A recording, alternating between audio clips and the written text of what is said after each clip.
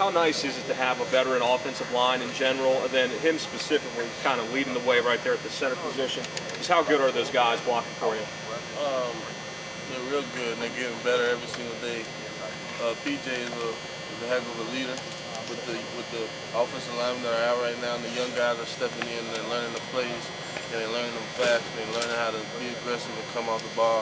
And you know, I'm just excited because those holes are getting real crisp.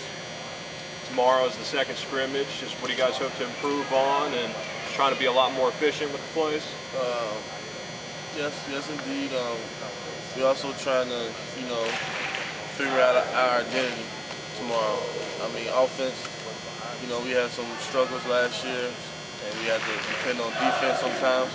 We don't want to have to depend on defense all the time this year. We want to be able to, you know, put our own weight and have defense put our own weight. But at the end, it's still one team, and then at the end, we'll come out with a victory.